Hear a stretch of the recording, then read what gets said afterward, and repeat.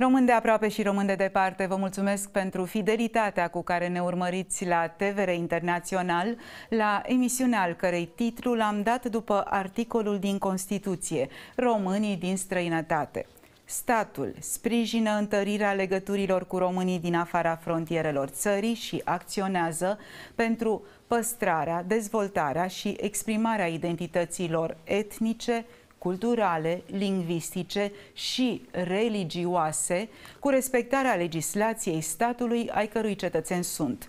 Tocmai despre respectarea acestui articol din legea fundamentală vom discuta la începutul emisiunii noastre, iar în partea a doua despre mari proiecte culturale ale acestui an cu impact major în străinătate. Așadar, vă readuc în atenție cazul familiei Furdui.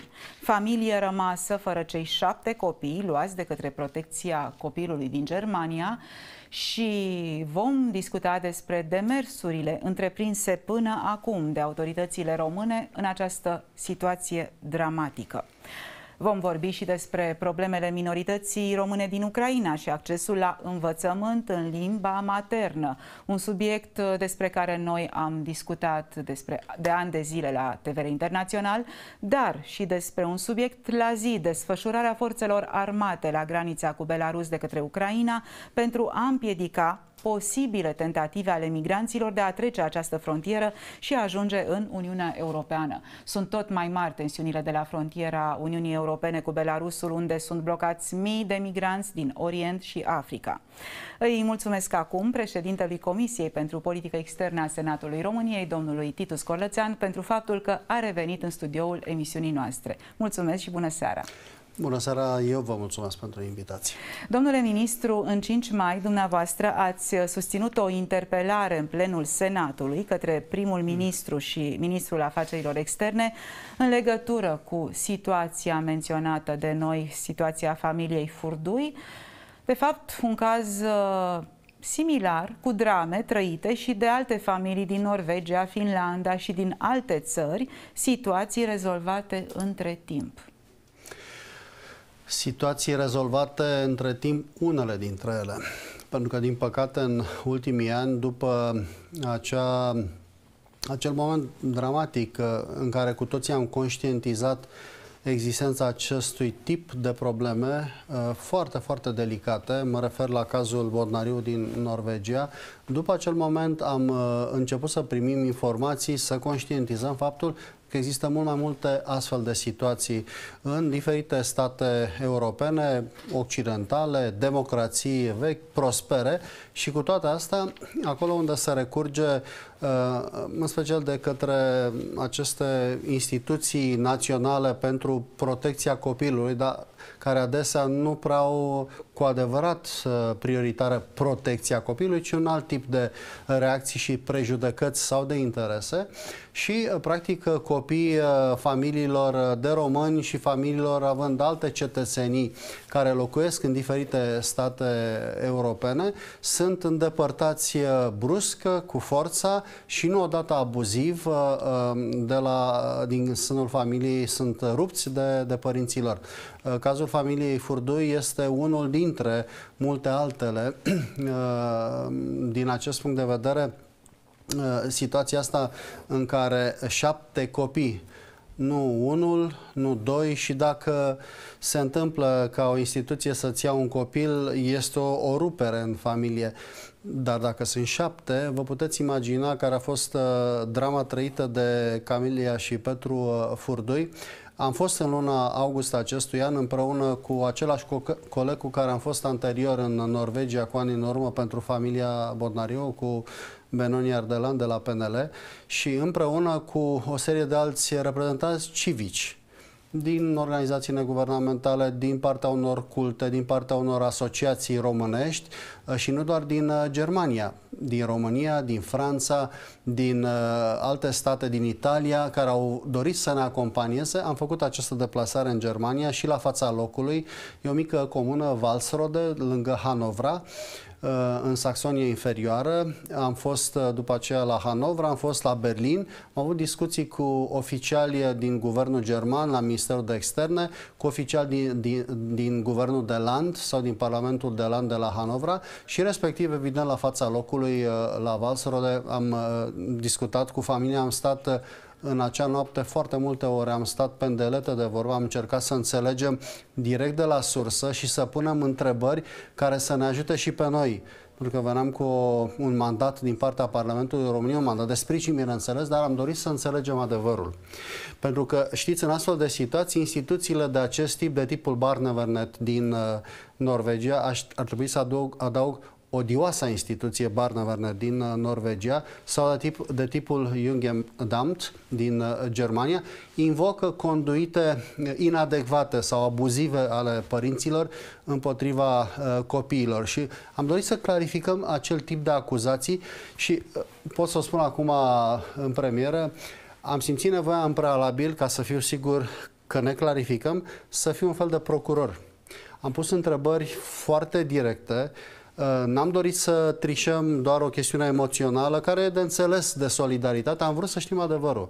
Și în seara asta vă pot spune în deplină cunoștință de cauză, după ce am văzut și documente, am uh, discutat cu martori, am discutat cu părinții și cu alte persoane și am clarificat anumite aspecte. Pot să vă spun foarte clar că este o îndepărtare abuzivă complet abuzivă uh, pe care au procesat-o autoritățile germane împotriva unei familii, atenție, care are exclusiv cetățenie română. Părinții și cei șapte copii au exclusiv cetățenie română, nu au și cetățenie germană. Și aș putea să vă dau câteva exemple, dacă avem timp, să înțelegem ceea ce poate că germanii nu înțeleg și înțelegem noi românii. Dar eu cred că este vorba de rea credință și am descoperit și de chestiuni extrem de grave în sistemul uh, instituțional german, și în seara asta s-ar putea să spun pentru prima oară ceea ce n-am spus public și am preferat până acum în cadrul unui dialog discret cu autoritățile germane în speranța că se vor regla lucrurile. Constat că timpul trece, nu se reglează și avertismentele în sensul că au probleme serioase în sistem, da, Marea Germanie, Democratica Germanie. Sunt probleme grave în acest sistem de protecție a copilului și cu interese de natură uh, mai pragmatică și uh, în astfel de situații statul român trebuie să reacționeze. Nu e o chestiune de a tulbura o relație bilaterală care e foarte importantă, dar e o chestiune de obligație constituțională pentru statul român să intervină în sprijinul propriilor cetățeni și până la urmă este și o chestiune de demnitate. Nu văd de ce ar trebui să ne aplecăm atunci când știm că proprii cetățeni ai noștri suferă în mod abuziv, nejustificat, chiar într-o țară atât de mare și de importantă și de democratică cum este Germania. Întrebare, uh, domnule ministru, și uh, acum uh, adresez și în calitatea pe care ați avut-o de ministru al justiției. Întrebare. Cum poate uh, să prevaleze în acest caz uh, faptul că acești cetățeni români au reședința în străinătate, Germania în acest caz, și cum să fie acest aspect, legislația statului de reședință să fie prevalentă în fața legislației statului, a cărui cetățenie o are persoana, familia în cauză, cea română. Probabil sunt explicații juridice, dar haideți să le înțelegem. Ceea ce nu conține întrebarea noastră este un al treilea element. Cum ar putea să prevaleze o legislație națională și aplicarea ei imperfectă față de tratate internaționale la care Germania este parte? Și față de care este obligată. Este și asta o parte a întrebării. Foarte pe scurt, ca să încerc să, să explic și din punct de vedere juridic, dar ca oamenii să înțeleagă, cei care ne privesc. În primul rând, oricine are o reședință sau un domiciliu pe teritoriul altui stat are obligația de a respecta legile țării. Da? Punct. Nu este nimic de negociat. În al doilea rând, să nu uităm că există o legătură constituțională prin instituția cetățeniei între statul român și proprii cetățeni care, da, trăiesc în altă parte. Dar legătura principală nu este între statul german și cetățenii străini care trăiesc pe teritoriul său, în speță, ci între statul de cetățenie și proprii cetățeni. Articolul este 7, motivul pentru care, României. pentru care statul român are și trebuie să aibă un cuvânt de spus cu privire la soarta propriilor cetățeni aflați în speță într-o situație dificilă în Germania. Trei la mână. Există convenții internaționale de la Haga și sunt și altele în materia drepturilor copilului care prevăd niște soluții care să fie utilizate în astfel de situații. Și una dintre aceste soluții este următoarea. Atunci când se produce o separare și așa consideră instituțiile respective că din motive imputabile părinților, există o soluție care spune pe scurt, trebuie privilegiate încercările de a păstra frații și surorile împreună în cadrul familiei, chiar familiei lărgite. Altfel spus, dacă există o rudă apropiată de părinți care este dispusă, disponibilă și are și, să spunem, condițiile de natură economică, materială, și permită să țină acești copii, se poate face reunificarea familiei într-un cadru de familie lărgită. În speță, am discutat cu Autoritatea Națională pentru Protecția Copilului din România, cu doamna președintă și cu oamenii uh, săi din echipa sa. I-am invitat uh, frumos la Senatul României împreună cu toate compartimentele de specialitate din Ministerul de Externe și am avut o ședință de lucru, cum se face înainte să plec, să plecăm în Germania în august. Da?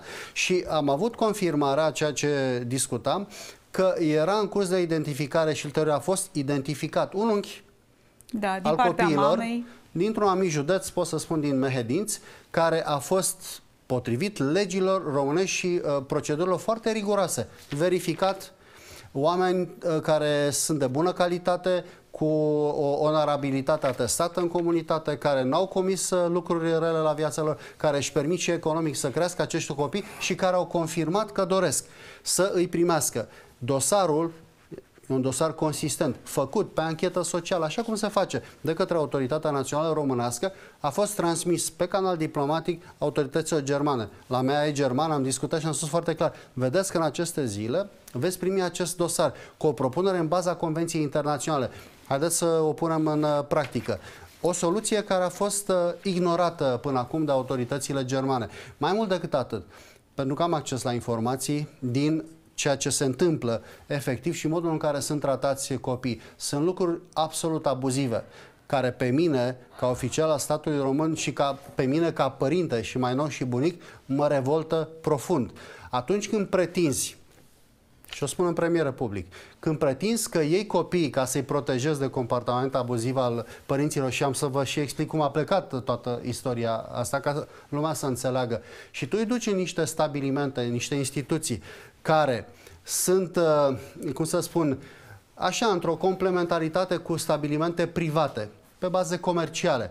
Și acele stabilimente au nevoie de copii, pentru că sunt bani aici. Să-i țin acolo frumos în continuare, uh, constați că mecanismul funcționează mai greu. Faptul că există a fost o împiedicare permanentă, multe luni de a permite întâlnirile alea care se trebuie organizate periodic între copii și părinți. Și atunci când cu greu s-au realizat aceste întâlniri, uh, cei care supravegheau le-au impus copiilor, să inclusiv fetiței de un an și două luni sau de trei luni, să vorbească exclusiv în germană cu părinții. Copilița respectivă, Lea, nu știa uh, decât limba română.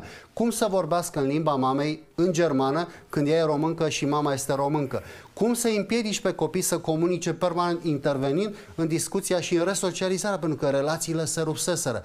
Cum să pretinzi tu, instituție germană, că protejezi copiii când, și aici avem informații atestate, când în instituțiile respective au apărut aceste informații verificate, care spun pe scurt, fete și băieți, alții care erau acolo luați de la părinții lor, fumau țigări cu un gust, cu un miros mai deosebit și foloseau și uh, lucrurile astea care se injectează în venă, pe scurt droguri. Cum poți tu, stat german, când știi aceste lucruri, să nu faci nimic? Cum poți tu, stat german, când îți spun foarte direct, ție autoritatea germană, că ai o problemă gravă în sistemul german, faptul că se uh, consumă droguri acolo și ceilalți copii sunt contaminați de acest risc. Am mai avut un, un caz, noi România, mi s-a confirmat din comunitatea respectivă de la Hanovra, pentru că această familie face parte dintr-o uh, biserică uh, evanghelică au mulți copii, sunt oameni cu frica lui Dumnezeu și foarte muncitori de altfel. Tatăl este cel care a muncit și a creat un anumit confort uh, economic pentru familie, pentru copii, a creat condițiile corespunzătoare. A existat uh, un caz, cel puțin un caz similar, în care un băiat a fost luat unei familii de români, tot așa, plecând de la prejudecăți români, Să le numim. Auslanderi. Cum au motivat? Cum au motivat? Imediat. Uh, acest băiat a fost luat de la părinți Timp de 2 ani de zile a fost ținut deoparte, separat de părinți și după 2 ani dintr-o dată părinții s-au uh, pomenit cu băiatul practic rejectat, dat înapoi la părinți. Care era explicația? Devenise între timp dependent de droguri. Deci lucruri profund în neregulă, care pe noi ne-au revoltat. Au uh, invocat autoritățile germane faptul că ar fi fost un comportament abuziv față de fetița cea mică. De unde a plecat, de fapt, uh, chestiunea? Timp de vreo două luni, băiatul cel mare, uh, care are un anumit tip de problematică de natură care ține de sănătate, de fapt. Și asta a fost descoperit uh, ulterior. Și a postat uh, pe Facebook, pe mediul online, anumite nemulțumiri față de familie, față de părinți, față de modul respectiv.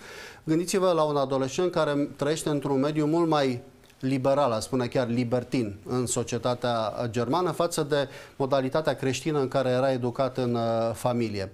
Postările respective au fost monitorizate de această instituție care cu discreție, așa cum fac uh, oamenii ăștia de obicei, au început să îl cultive, să aibă un dialog discret și ușor, ușor să îl stabilească prin contact, să-l ducă în direcția de care probabil unii aveau nevoie. Și într-o zi se întâmplă un lucru. Uh, într-o zi de duminică, uh, părinții stau la masă cu copii, cu cei șapte, la prânz, înainte de a merge la slujbă, la biserica la care mergeau la, la Hanovra. Uh, la un moment dat, fetița cea mică, încă o dată un an și două luni, fiind hrănită cu lingura de mămica sa, se neacă se întâmplă, suntem părinți, știm acest lucru. Reacția mamei în acel moment a fost să ia fetița să, să o miște mai puternic, să-i dea la spate și fetița și-a revenit. Copiii au înțeles sau nu au înțeles ce s-a întâmplat, că fiecare mânca. În schimb, băiatul cel mare, David, a făcut imediat o postare spunând că mama a bătut-o pe fetiță. Asta a declanșat procedura, a doua zi au venit în casă la ei, o parte din copii erau la școală, au fost preluați direct de la școală, o parte erau în casă. Și au intrat două doamne din partea acestei agenții uh, germane, dar știți care au fost primele cuvinte pe care le-au spus aceste două, să le numim doamne, părinților, le-au reproșat faptul că își obligă copiii să citească Biblia și că îi trimit la biserică a fost clar încă o dată, ca și în cazul Bodnariu, că au fost prejudecăți care au motivat această acțiune, niște prejudecăți legate inclusiv de identitatea creștină a familiei respective, plus că erau români, erau auslanderi, nu erau cetățeni germani. Da? E, lucrurile astea au declanșat procedura de rupere și după aia s-a construit cazul cu tot felul de chestiuni, de comportament abuziv, cu anchetele cu copiii, discuții, copii care n-au discernământ și care ușor, ușor pot fi foarte ușor conduși pentru tot felul de declarații. Exact aceeași tipologie ca și în cazul familiei uh, Bodnariu. Să vă dau aici un exemplu, dacă avem uh, două minute. Uh, care poate fi citit și înțeles cu totul altfel de noi românii decât germanii și mai ales cei care nu au bună credință ar putea să o, să o facă. Într-o bună zi, pentru că cam toți copiii cântă la instrumente muzicale, părinții au făcut efort, le-au cumpărat instrumente, i-au dat ca să învețe uh, difer- diferitele instrumente muzicale, foarte talentați, ei cântă în, uh, în biserica respectivă. Într-o zi, una dintre fete, care avea un instrument, uh, un corn, horn în germană, uh, nou, foarte scump de altfel, părinții cumpăraseră, foarte bună fata, cântase în uh, orchestra orașului Mannheim, acolo unde locuiseră anterior, deci nu în orchestra școlii, în orchestra orașului. Foarte talentată, s-au mutat lângă Hanovra și într-o bună zi își găsește uh, acest uh, instrument lovit, deteriorat, uh, cu siguranță de unul dintre frații sau uh, surorile sale. Și mama îi cheamă pe copii și îi întreabă, și spune cine uh, i-a stricat uh, instrumentul pentru că fata plângea. Fata era foarte afectată, era foarte supărată. Niciunul dintre frați și surori, copii, nu recunosc, nu spun. Mama îi întreabă și a doua zi, încearcă să afle adevărul și le și explică de ce uh, insistă să afle adevărul. Și le face următoarea propunere. Ca să nu existe niște răni între ei, între frați și surori, uh, le-a făcut următoarea propunere. Uitați, vă dau câte o bucată de hârtie la fiecare și asta a fost o discuție de la suflet la suflet cu Camelia, cu mama copiilor. Și l-a spus în felul următor, scrieți-mi adevărul, spuneți-mi cine a făcut. Eu voi fi singura care voi citi, voi ști cine și mergem după aceea în curte.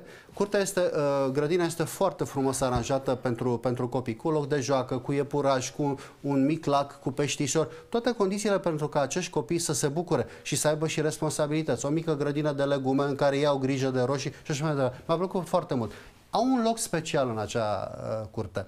Este vorba de un fel de cerc în care își pun scaunele pe peluză, pe iarbă.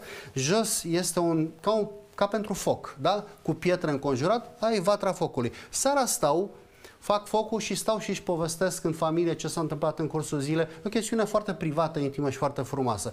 Și mama le-a spus, îmi scrieți pe bilețele și eu mă voi duce după aceea și voi arunca în foc acele bilete. Rămâne între noi, dar e important să spuneți adevărul. Să nu mințiți. Adevărul este foarte important și știți că pentru un creștin adevărul este extrem de important. Va rămâne între noi, dar e important să spuneți adevărul și voi ști doar eu. Un gest de o delicatețe extraordinară mi s-a părut uh, această chestiune, da? Cum a fost interpretată de autoritățile germane ca o presiune inacceptabilă împotriva copiilor, care le strivește personalitatea umană. Formulele clasice le-am mai văzut în astfel de uh, rapoarte. Pot să continui să vă dau multe alte exemple care spun foarte clar că acest caz a fost construit cu acuze forțate și abuzive împotriva părinților. Acum lunile trec, Există și un proces în curs, uh, faimoasa uh, anchetă sociologică, investigare, care trebuie făcută imediat și care s-a făcut cu multe luni întârziere și s-a făcut doar parțial. Nici astăzi ea nu este finalizată. Ea va conta foarte mult dacă investigatorul, psihologul care face această chestiune, va fi de bună credință. Acest lucru s-a întâmplat la un moment dat în cazul familiei Bodnariu. Atunci a fost un psiholog, culmea, chiar din sistem, din odioasa instituție Barnevernet. Dar acel om a fost de bună credință și la final, după ce a făcut acel raport, mi-aduc aminte în noaptea respectivă, a pus mâna pe telefon și a sunat colegii din Barnevernet și le-a spus dați copiii înapoi imediat. Aceștia sunt părinți buni au refuzat cei din Barnevernet, iar raportul lui, al acestui psiholog, a jucat rolul decisiv în procedura judiciară în fața unui judecător. Până atunci nu fusese judecători. Așa și aici. Sunt foarte multe lucruri care se întâmplă. Uh, comunitățile românești au reacționat în afara țării Există o succesiune de proteste care au început în Germania, au fost la Londra, la Roma, la Roma am fost uh, și eu, au fost în acest weekend uh, cel puțin 8 proteste în localități, în orașe mari din Statele Unite, unde este o comunitate românească importantă. Uh, vor fi în Australia, vor fi în Canada, în alte state europene și, bine, bineînțeles, și în România. La București, la Suceava, chiar pe ziua de 4 uh, decembrie. Da? E o solidaritate românească și o solidaritate pe care o resimțim și e necesară. Pentru că un astfel de caz care se repetă acolo, și dincolo, necesită și solidaritate românească, dar implică și o necesară reacție a statului român prin înalții săi oficiali, care trebuie să iasă din confortul scaunelor lor, pentru că știți, adesea un simplu telefon politic dat la înalt nivel contează foarte mult. Și dintr-o dată constați că încep lucrurile să se rezolve. Noi ne luptăm la nivelul cât, câtorva celor doi membri din Parlamentul uh, României și ne vom lupta foarte serios. Comunitățile românești, bisericile sunt aproape de această familie, dar e nevoie de un efort instituțional care să miște lucrurile și să facă să înțeleagă și faimoasa Germanie, că și ea poate să greșească și unor foarte grav împotriva, iată, unor cetățeni care, da, vin din mai mica Românie, mai puțin democratică Românie, mai puțin prospera Românie, dar suntem oameni care trebuie să fim respectați. Și a, când vorbim de familii, ele trebuie respectate. Nu rupte în bucăți, ci căutate soluții pentru a menține integritatea familiei. E nevoie de consiliere pentru părinți? Dacă cineva spune că au fost abuzii, da, recurge la consiliere. Părinții doresc să intre în tipicul la german. Știți că noi suntem latini, nu suntem uh, germani. Da, dacă stai pe teritoriu, faci eforturi, da? Dar fă chestiile astea, tu stai german. Nu rupi pur și simplu relațiile în familie. Da, respectarea legislației statului uh, unde sunt, tocmai vorbeam noi de articolul 7 din Constituția României, dar la întrebarea ridicată de un telespectator atunci când am anunțat tema emisiunii pe care v-am pus-o și eu dumneavoastră, că de ce să prevaleze asta când tu ai niște cetățeni români și de fapt unde este stipulat în legislația statului de reședință uh, clar negru pe alb că iată... Există o... Asta era întrebarea. Există un vacuum în uh, Convenția Consulară Bilaterală avem cu alte state. Dar uitați că în Convenția asta consulară nu există această dispoziție. Obligația statului care începe să acționeze cu privire la cetățenii celuilalt stat, în primul rând să notifice. Germanii n-au făcut treaba asta. Nu ne-au informat. Am aflat din presă, am aflat din uh, plângerea părinților de pe Facebook. Era obligația statului german generic pe baza Convenției de la Viena privind relațiile diplomatice să ne informeze. Da? E, uh, am determinat uh, acordul părții germane să se renegocieze Convenția Consulară, să se introducă această chestiune, să ne informăm reciproc, pentru că le-am spus Germania, eu voi fi primul care să mă bat ca statul român să vă semnaleze din prima secundă să știți că aveți cetățeni germani pe teritoriul României cu probleme dacă se întâmplă astfel de chestiuni. Uh, doi la mână. Statul român, în mod normal, mâine, dar la nivelul decidenților politici, ar trebui să ceară repatrierea acestor cetățeni români. Sunt doar ai noștri, nu ai lor.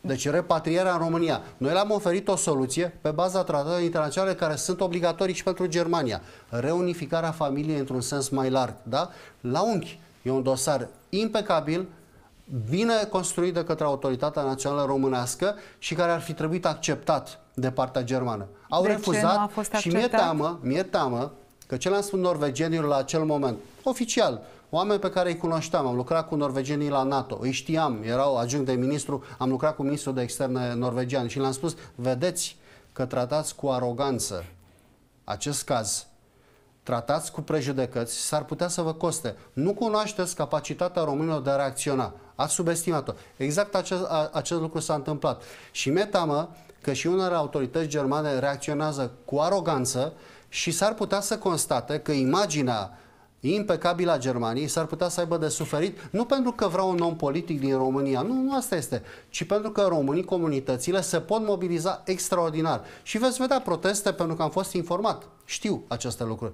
Am fost informat de către biserici, organizatori, comunități, asociații neguvernamentale. Veți vedea proteste tot mai serioase în foarte multe țări europene, în Statele Unite și în România, inclusiv aici la București, legate de ambasada germană. De fapt, uh, alt caz similar a fost cel al doctoriței Simicală din uh, Piatra Neamț. A trăit uh, aceeași dramă și până la urmă, fără o mobilizare uh, Uh, care să atragă atenția în gura mare, stați puțin, nu e normal, nu cred că s-ar fi rezolvat nici acel caz uh, în termenul în care s-a rezolvat. Doamna Crăciun, n-am vorbit niciodată pe această temă public. Am avut discuții cu autoritățile finlandeze discret, inclusiv cu fosta doamna ambasador finlandeză la, la București. Și le-am atras atenția asupra unor chestiuni profund în neregulă legate de gestionarea acestui caz. Poate vă spun în premieră un lucru fostul soț al doamnei Smicală, avea o anumită afiliere la o instituție de informație a statului finlandez. Și, în consecință, avea o anumită greutate în sistem. Și de aici un tratament privilegiat acordat acestui domn în defavoarea doamnei, care era o mâncă, și în defavoarea copiilor. A fost o bătălie foarte aspră. Această femeie merită tot respectul pentru ceea ce a făcut. Au fost uh, manifestări uh, publice de solidaritate, au fost demersuri diplomatice, unele știute, altele mai puțin știute. Slavă Domnului că până la urmă s-a găsit o rezolvare. Dar vă spun că eu m-am speriat. După apariția cazului uh, Furdoi în Germania, am început să primesc din nu știu câte direcții din Germania din Austria, că mai fost un caz în Austria, cu uh, copii luați uh, din, dintr-o familie de români, slavă Domnului că austriecii sunt mai flexibili și mai înțelegători. S-a rezolvat între timp acest caz. Sunt multe cazuri multe cazuri de acest gen și de asta una din problemele de fond pe care va trebui să le rezolvăm pentru a veni în ajutorul acestor familii, nu este ca de fiecare dată printr-un efort așa, uneori voluntar, al Direcției Consulare din Ministerul de Externe, mai vorbim cu ministrul, hai domnule, trimiteți acolo, faceți niște lucruri așa, ambasada, nu. E o chestiune de sistem. Și ăsta e motivul pentru care mâine veți vedea în programul de guvernare a României, la capitolul de politică externă, care va fi votat de Parlamentul României, în premieră, o dispoziție pe care personal am introdus-o pentru că am lucrat din partea partidului meu la programul de guvernare la politică externă și am introdus un nou mecanism în premieră în care un mecanism integrat, interinstituțional, coordonat de MAE, în care să ai experți din diferite instituții. Pe zona consulară, drepturile omului, tratate internaționale, jurisprudența pe dreptul familiei din partea instanțelor românești care știu dreptul familiei și cei de la Autoritatea Națională pentru Protecția Copilului. E nevoie de o structură integrată cu oameni, cu resurse, care atunci când primesc aceste semnale să aibă deja știința lucrurilor tratate internaționale, obligații, relații bilaterale, să proceseze, să pună pe masa decidentului politic soluția. Asta e de făcut, asta avem de făcut. Deci o problemă de sistem, de organizare instituțională. Sunt foarte mulțumit și astăzi am avut o discuție cu ministrul Aurescu la audierile pe care le-am condus la Parlament, audierile de politică externă cu uh, candidatul de ministru uh, și am cerut să se implice și personal ca ministru de externe al României și mâine vom avea votul cu privire la înființarea acestei noi instituții. Și am cerut ministrul Aurescu ca această instituție să fie operaționalizată urgent. De ce? Pentru că sunt sute și mii de cazuri similare și primim și la un moment dat și eu mă simt depășit. Există un caz disperat în Danemarca, o doamnă care semnalează de ani de zile. Am discutat cu Ministerul de Externe. Mișcați-vă în această direcție. Au făcut demersuri, dar ne lovim ca de un zid. Nu. În astfel de situații, nivelul politic de acțiune. De pomană le cerem diplomaților, celor din zona tehnică, fac tot ceea ce pot, se lovesc de un zid. Acolo trebuie intervenit politic, da? Și intenționăm să fac pentru familia Fordoi. În aceste zile se definitivează guvernul german, guvern de coaliție, cu Partidul Social Democrat, SPD-ul, care va fi prima vioară și va da primul ministru. Vom folosi și acele canale ideologice, firești de legătură, pentru a mișca lucrurile în Germania, cel puțin în cazul familiei Fordoi. Da, domnule uh, ministru Corlățean, nu mai avem foarte mult timp, dar uh, aș vrea să uh, ne oprim puțin asupra ultimelor demersuri pentru apărarea limbilor materne ale minorităților da. din Ucraina, implicit apărarea dreptului la limbă română și la învățământ la limba română în Ucraina. Iar vorbim de uh, reciprocitate până la urmă. Da, uh, istoria... Am tot discutat-o, istoria acum o știm. câțiva ani și o știți, uh, uh, la acel moment și pe fundalul conflictului uh, ucrainiano-rus, uh, autoritățile ucrainiene în ideea de a consolida identitatea ucrainiană și limba de stat, au, practic au amputat uh, dreptul la educație în limba maternă pentru minoritățile naționale din Ucraina și, într-un fel, și românii, și ungurii, și polonezii, și bulgarii au căzut uh, ca minorități prizoniere conflictului uh, ruso-ucrainian. Da? Ucrainienii au ceva cu rușii, rușii au ceva cu ucrainienii pe, pe scurt. Și noi ne-am trezit am cu avut, limbă moldovenească. Am avut uh, demersuri, am făcut tot felul de lucruri. Eu am fost cel care a determinat o dezbatere de urgență în adunarea parlamentară a Consiliului Europei, cu raport și rezoluție și recomandări adoptate, cu solicitare sesizare la Comisia de la Veneția. Au venit cei de la Comisia de la Veneția cu un raport foarte clar, cu exigențe foarte clare către autoritățile ucrainiene. N-au făcut mai nimic. Și de asta am reluat acum puține luni, uh, printr-o nouă, nouă moțiune de rezoluție la adunarea parlamentară la Strasburg. La sfârșitul lui septembrie? Ea a fost agreată de principiu și biroul, uh, uh, biroul adunării parlamentare a direcționat această moțiune pentru raport deci pentru investigare și raport, la comisia competentă a fost desemnată deja un uh, raportor care va face un raport și știu că va fi un raport corect și bun. Menținem presiunea. Pentru că pe canalul bilateral de dialog care există, a existat între autoritățile române de la București și cele de, de la Kiev, s-au spus povești. Ucrainienii ne-au spus povești și ne-am săturat de astfel de povești. Dacă ei nu înțeleg că statul român a fost alături de ei la greu, I-am susținut în ce privește integritatea teritorială, condamnarea anexării ilegale a Crimei, lucruri pe care noi le-am făcut în Uniunea Europeană pentru ei și în NATO pentru ei, apropo de consolidarea capacităților lor împotriva provocărilor uh, în cyberspace, în spațiul cibernetic. România era titularul de proiect în NATO pentru asistența pentru Ucraina. Dacă oamenii ăștia nu înțeleg că tot ceea ce facem este cu bună credință, dar și ei au obligația de respect pentru identitatea românească din Ucraina și vorbim de cetățeni loiali statului ucrainean. N-au dorit să se separe, n-au făcut nimic, nu i-am încurajat să-i respecte și să le asigure dreptul la educație în limba maternă. Au obligația să-și modifice legislația asta aberantă, care s-a dus prea departe și care încalcă dreptul la educație în limba maternă pentru etnicii români și pentru celelalte minorități din uh, Ucraina. Iată câtă nevoie este despre dezbateri uh, care vizează astfel de probleme de respectarea drepturilor cetățenilor români aflați în străinătate, inclusiv dreptul la educație în limba maternă și, în general, de emisiuni de politică externă, așa cum uh, încercăm noi să facem la televiziunea publică. Ucraina a desfășurat 8500 de soldați și ofițeri de poliție la granița cu Belarus, uh, un subiect uh, despre care se va discuta și la știrile externe și în emisiunile realizate de colegele mele de la știri.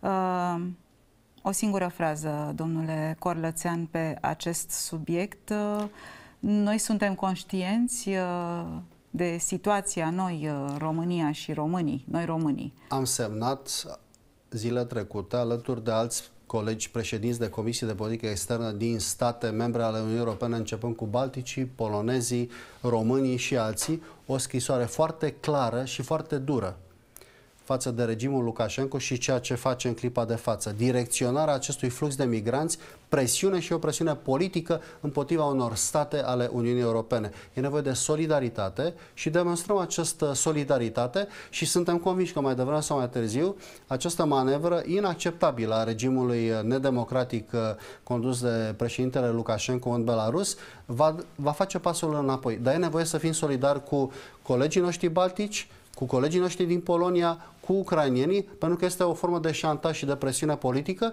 iar în spatele lui Lukashenko știm foarte bine că este un actor mult mai mare și mai la est. Iar România este exact la granița dintre NATO, nu? România este flancul. Flancul. Este la frontiera este la frontieră. NATO și la frontiera Uniunii Europene. Deci avem niște responsabilități majore, dar este bine să știm să demonstrăm solidaritate, pentru că, Doamne ferește, data viitoare, dacă ar fi cazul României, sperăm să nu fie, avem nevoie la rândul nostru de solidaritatea celorlalți. Deci trebuie să fim alături de partenerii noștri europeni. Mulțumesc foarte mult, vom urmări toate aceste subiecte și vă așteptăm cu vești bune în cazul familiei Furdui să veniți Doamne ajută. în studio. Doamne ajută!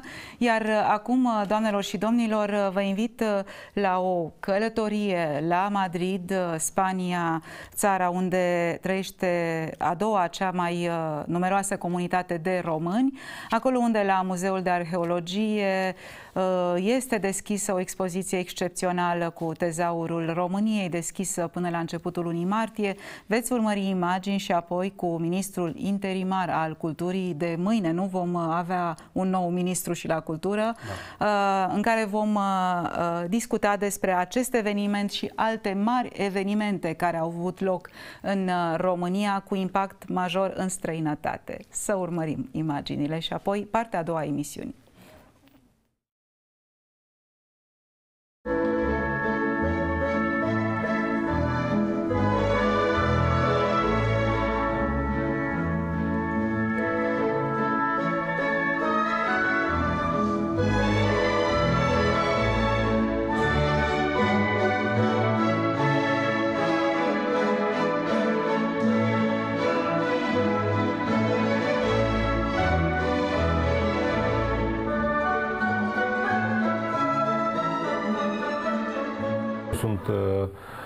Onorat să mă aflu în studioul uh, dumneavoastră. Salut și eu uh, românii de pretutindeni care ne urmăresc și sper ca discuția noastră să-i uh, atragă și să ne urmărească. Domnule Gheorghiu, uh, v-am urmărit și de fapt noi am reflectat în uh, emisiunile noastre la TVR Internațional un mare eveniment de la Muzeul de Arheologie din Madrid. Acolo unde expoziția organizată de România și susținută de Ministerul Culturii atrage un număr record de vizitatori. S-a apropiat de 12.000 de vizitatori zilele trecute. Nu greșești dacă spuneți cel mai mare eveniment, pentru că, într-adevăr, este cea mai mare expoziție muzeală organizată vreodată de statul român în afara granițelor noastre. Am uh, organizat această expoziție cu ocazia împlinirii a 140 de ani de relații româno-spaniole, relații diplomatice. Această expoziție s-a bucurat de înaltul patronaj atât al uh, regelui uh, Felipe cât și al uh, excelenței sale președintele României Claus Iohannis. Pot să vă spun că într-adevăr este în continuare un eveniment expozițional de o mare amploare. Aproape 900 de exponate sunt acolo, repet, cea mai mare expoziție organizată vreodată de România în afara granițelor și exponatele sunt strânse din 40 de muzee. Chiar români din țară aflați întâmplător în zona au mers acolo să vadă, pentru că mi-au spus cât mi-ar lua mie să văd aceste exponate în țară, vizitând 40 de muzee, când sunt uh, toate acolo strânse la un loc. Eu am fost la deschiderea acelei expoziții, uh, doamna ambasador Gabriela Dancău, care este o persoană extrem de activă și de inimoasă, a fost uh, sufletul din punct de vedere organizator, din punct de vedere curatorial, domnul Ernest Oberlander Stărnoveanu. Ne-am bucurat de un sprijin extrem de important al Muzeului Național de Istorie și Arheologie de la Madrid, Muzeul Național al Spaniei. Așadar, iată, două muzee naționale și-au dat mâna pentru ca această expoziție să fie un succes și a fost foarte bine primită de public. La deschidere am participat eu cu omologul meu spaniol, dar și ministrii de externe din cele două țări. Ne mai punem la socoteală numeroasele personalități prezente acolo. Dar, domnule ministru, astfel de evenimente, fără precedent, cum remarcați și dumneavoastră, fără finanțare, nu au cum. Nivelul lor Uh, până la urmă are legătură foarte mare și cu cât își permite statul respectiv, România în cazul de față, să investească, pentru că indiferent cine este la conducerea Ministerului, fără bani nu prea poți face nimic de anvergură. Da, am alocat și ceva bani. Să știți că și partea spaniolă a alocat uh, o parte din sumă. Sigur, e mult mai importantă suma alocată de noi, respectiv 2 milioane de lei, care înseamnă 400 de mii de euro pentru organizarea acestei expoziții, dar am avut și sprijin de la Ministerul uh, Apărării, pentru că fără acel transport asigurat, uh, acel transport militar în condiții speciale, acest lucru, dacă am fi achiziționat acest serviciu pe piața liberă, ar fi fost extrem de, de scump un transport în astfel de condiții. Gândiți-vă că acolo avem, uh, doar dacă vorbesc de coiful de la Coțofenești sau uh, multe alte exponate de mare, mare valoare, nu te poți juca când vorbim de uh, piese de un asemenea rang uh, din punct de vedere identitar. Nu mai vorbim de o valoare pecuniară aici, dar uh, sunt piese care, știți, noi după ce ne-am fript cu ciorbă, suflăm și ne aur și acum plângem după un tezaur uitat, pierdut pe la Moscova, deci suntem foarte atenți cu tot ce avem, pentru că la un moment dat să știți că au mai existat speculații prin presă, că aceste piese au plecat la Madrid pentru a nu se întoarce toate.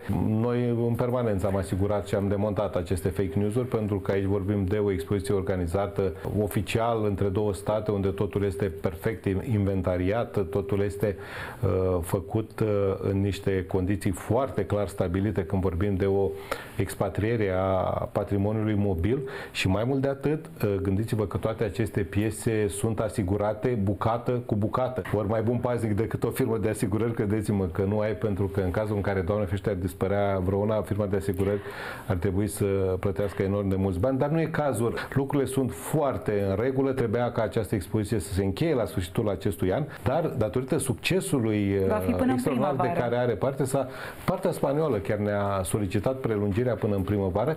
Ei aveau ceva imediat uh, după încheierea expoziției noastre a părții române, urma o expoziție organizată în parteneria cu Marocul.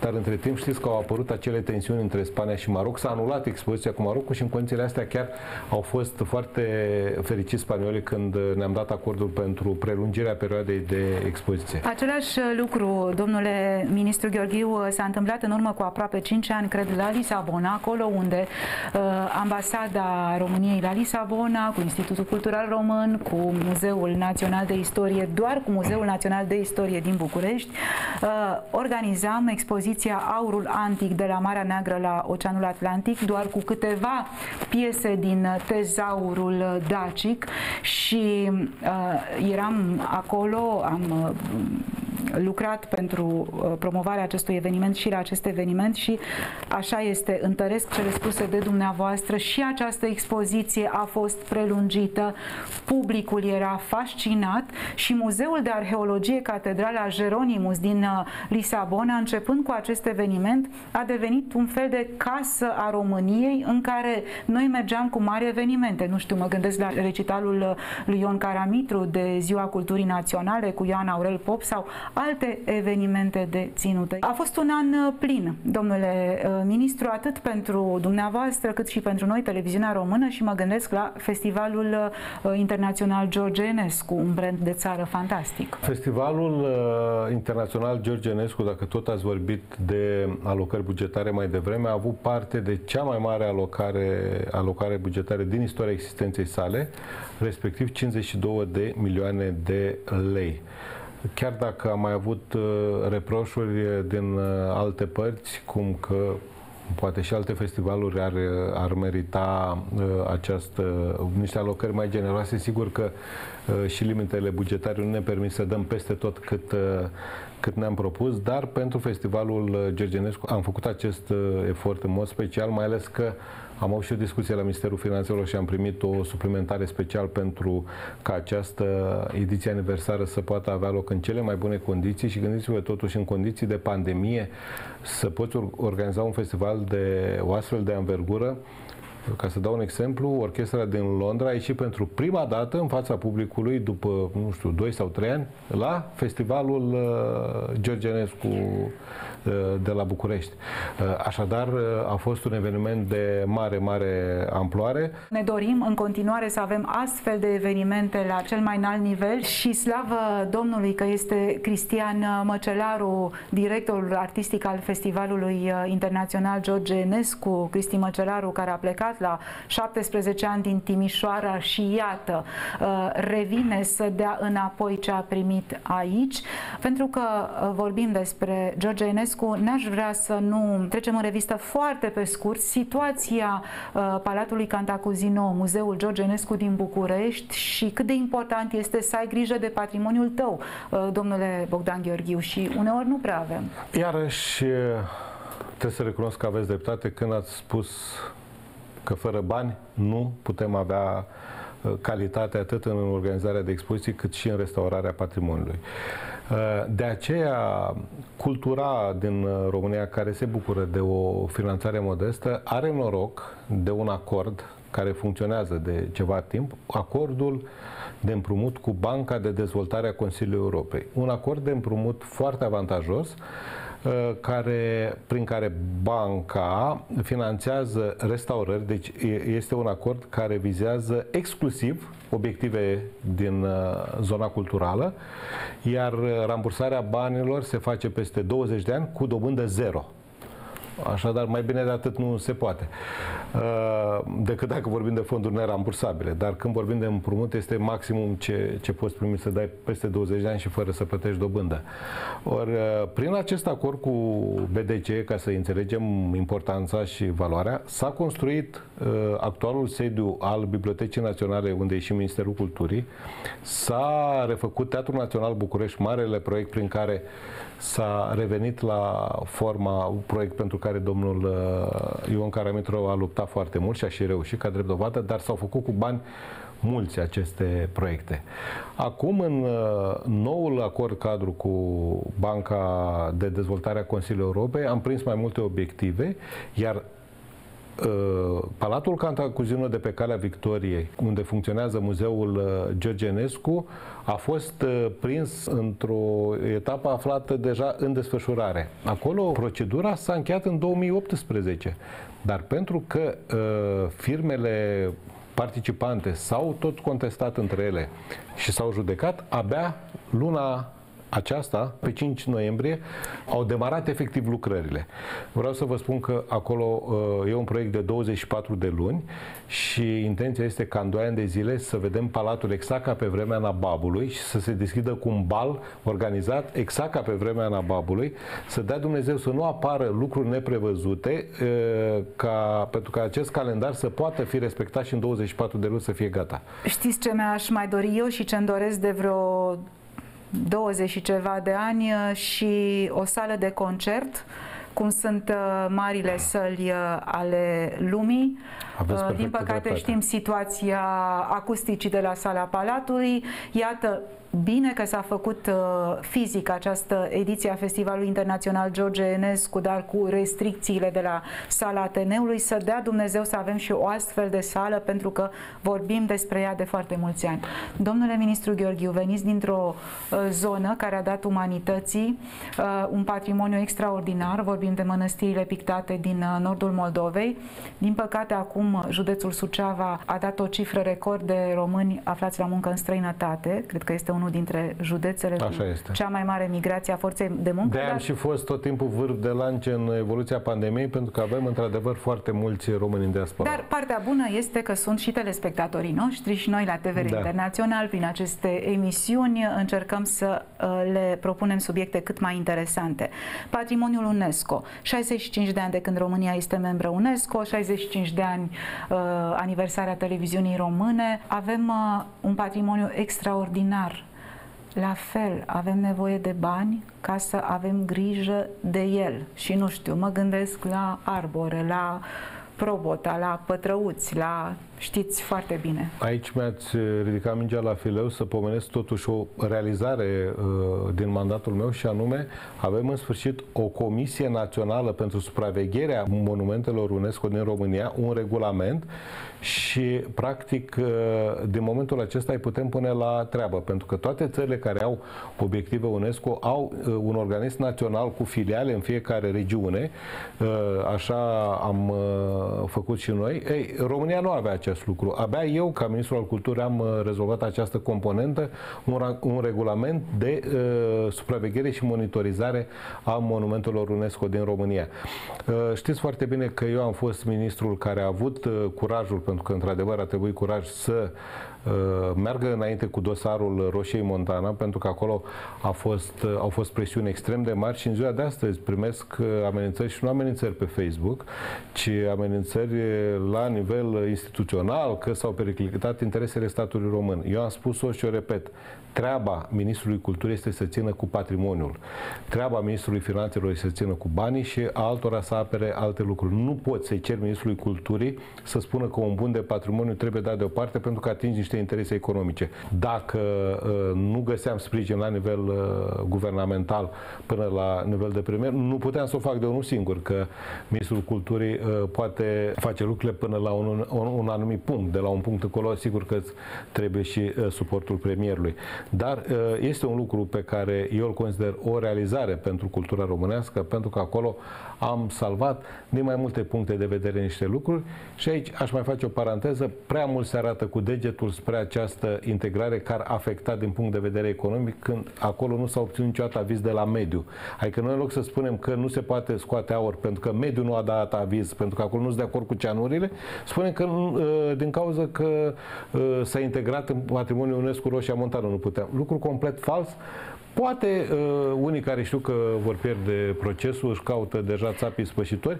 Uh, trebuie să fie asumat, să știți, uh, un lucru care e destul de greu în, uh, în România, pentru că ați văzut, foarte ușor uh, se alunecă de la buna intenție la acuze care pot crea uh, dezinformări pe, pe piață. Dar dacă nu ești asumat să mergi până la capăt, cum am făcut eu cu Roșia Montană, uh, lucrurile stagnează și din păcate în România vedem foarte multe lucruri care stagnează. La final de emisiune articol 7, ce le transmiteți telespectatorilor Deja? români din uh, străinătate și mă gândesc că am tot adus în discuție un studiu sociologic casele făloase din Cașvana. Acele case rămase goale pentru că românii sunt plecați în străinătate. Sunt telespectatorii noștri. Ce le transmiteți la final de an? Dacă vorbim de casele făloase, să știți că de multe ori trec prin Cașvana când am uh, prieteni veniți în alte zone ale țării și uh, pentru a le arăta zona uh, Cașvana, Botoșana, unde într-adevăr oamenii sunt extrem de muncitori și întreprinzători, dar uh, uh, e bine să ai un spirit întreprinzător uh, atâta timp cât uh, munca ta este cât mai bine investită. De aceea eu aș îndemna orice român uh, care construiește astfel de case să numere câte zile pe an doarme în ele. Pentru că atunci va ști dacă a făcut sau nu o, o investiție bună. Și celor care își doresc să revină acasă în România, de unde au plecat la început pentru 2, 3, 4, 5 ani și iată că s-au transformat la unii în decenii și totuși au nevoie de proiecte solide acasă pentru că aici le sunt rădăcinile și vor să revină. Exact. Uh, oamenii ar veni acasă, dar trebuie să le oferi și o uh, o predictibilitate. Adică Dumneavoastră, clasa politică trebuie să le oferiți și administrația. Noi, clasa politică, uh, vreau să vă spun că totuși lucrurile uh, au evoluat Uh, și o văd mai bine românii de afară decât noi de aici uh, cum au evoluat lucrurile în România cei care vin, nu știu, odată la șase luni, la 8 luni sau chiar o dată pe an în România, văd uh, salturile și diferențele față de niște ani. Noi stând aici zi de zi, parcă vedem mai greu uh, aceste progrese. Gândiți-vă că uh, uh puterea de cumpărare în România este cu totul alta, adică în urmă cu niște ani, cu 100 de dolari, nici nu exista euro pe atunci, îți făceai un concediu la mare. Astăzi nu știu dacă ți ajunge să-ți faci un plin de motorină. Adică totuși uh, suntem undeva mai aproape de ceea ce înseamnă uh, politica prețurilor și puterea de, de cumpărare. Sigur că avem două Românii. Uh, avem uh, o Românie uh, a centrelor urbane mari, unde aproape că nu ai nicio problemă în a te compara cu ceea ce se întâmplă în vest, pentru că dacă tu uiți piața, nu știu, imobiliară sau de servicii din București, o poți asemăna cu alte orașe europene mari, dar avem o Românie rurală de care trebuie să ținem cont. 50% din populația României locuiește în mediul uh, rural și asta după acea uh, reformă administrativă în care am făcut multe comune orașe, deși ele sunt încă comune. Așadar, dacă luăm toate aceste aspecte și vedem situația în ansamblu, e nevoie de investiții în uh, infrastructura rurală, în primul rând, pentru a crește cu adevărat întreg nivelul și nu să ne dezvoltăm doar punctual în niște centre urbane.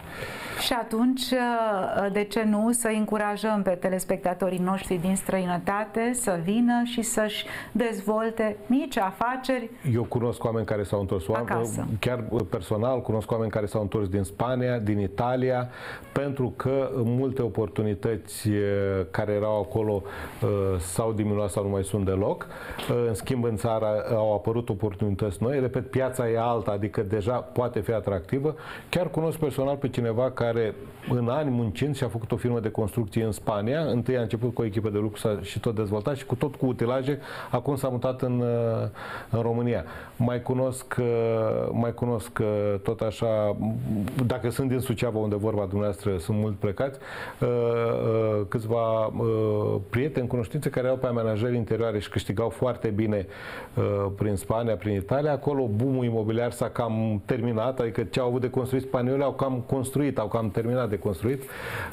Și acum, culmea că în România se construiește foarte mult și mult mulți acum uh, s-au mutat cu business-ul în România, chiar cu tot cu muncitori de origine marocană sau uh, din alte zone, tocmai pentru că acum merge uh, uh, acest uh, business în România. Gândiți-vă, Iașul uh, deja uh, a trecut de uh, 4 sau 500 de mii de locuitori orașul, dar ceea ce pot să vă spun sigur este că e primul județ care depășește milionul de locuitori din, din România. Uh, gândiți-vă ce înseamnă asta, pentru că Iașul era undeva la 200 și ceva de mii de locuitori. Amazonul construiește, uh, celebră platforma Amazon își construiește un cartier în Iași își face centru acolo. Ori toate aceste lucruri denotă că avem anumite zone de explozie din punct de vedere economic. Cum am spus, Clujul deja e un exemplu de care ne-am plictisit, dar Iașu, Iașu e noua perlă a exploziei pe zona urbană. Bucovina, în schimb, dacă tot vorbim de Suceava, a explodat foarte mult pe infrastructura turistică. Eu uh, am plecat odată, uh, sucevean fiind, am plecat cu mașina undeva prin uh, Ardeal și am văzut o pensiune, uh, era pe stânga și zic, las că mănânc la aia pe dreapta. Am rămas fălământ până în partea altă. Și pe aia mi-am dat seama, eu credeam că e ca la mine în județul Suceava, unde dacă ai ratat o pensiune pe stânga, nu nicio problemă, că imediat ai una pe dreapta și așa o ții până la, până la Vatra Doni. Se mănâncă în toate bine. Uh, ori mi-am dat seama că, de fapt, explozia asta de, de pensiune doar la noi în județ, nu e chiar peste tot. Dar fiecare cu tipul lui de... Gândiți-vă, Iașu, că l-am dat exemplu. Dacă dai orașul deoparte și uh, lași doar județul, nu prea mai rămâne mare lucru. Adică acolo tot e concentrat. Pe când Suceava e un județ mult mai distribuit în care capitala județului reprezintă doar uh, undeva la 14-15% din totalul locuitorilor. E mult mai bine echilibrat ca județ și, și economic. Uh, Iată o invitație subliminală așa la un Crăciun în Bucovina da, de poveste. Da. Mulțumesc foarte mult, domnule Bogdan și, și când se, uh, pleci de la Crăciun în Bucovina, neapărat să-ți faci rezervări pentru, pentru Paști, pentru că uh, se termină locurile și acolo repede. Eu vă mulțumesc uh, foarte mult pentru prezența dumneavoastră la emisiune. Uh, miercurea viitoare este deja 1 decembrie, iată, intrăm în 1 în luna decembrie. O să vă propun un 1 decembrie altfel o privire lucidă despre România a unui jurnalist străin pentru care România e țara din inimă. Cu Alison Matler o să vă întâlniți miercurea viitoare, dar până atunci, oriunde vă aflați, nu uitați, sunteți România. Avem nevoie de dumneavoastră. Numai bine de acasă. La revedere!